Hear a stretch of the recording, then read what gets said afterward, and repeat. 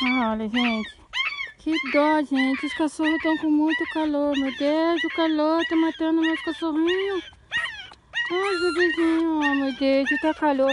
Ele fica tirando. Eu coloquei na sombra. Olha o calor, gente. Olha o calor. O calor tá demais. Tá todo mundo de boca aberta. Meu Deus, eles não estão aguentando esse calor, meu Deus. Ah, meu filho. A gente tá falando, nós estamos crescendo.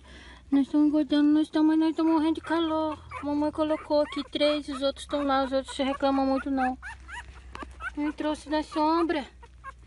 Oh meu Deus, é muito calor. Eu também tô sentindo. Nossa, tá bravo.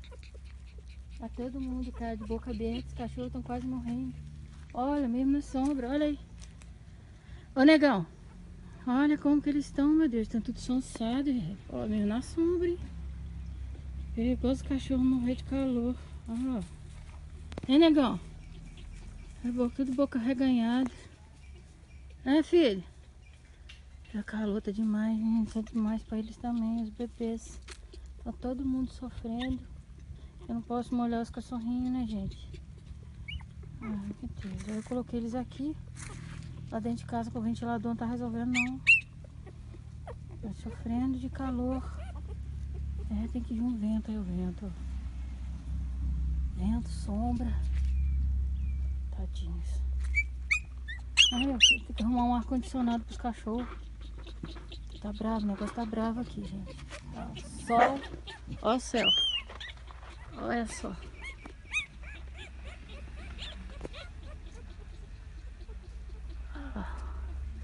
azul, ó.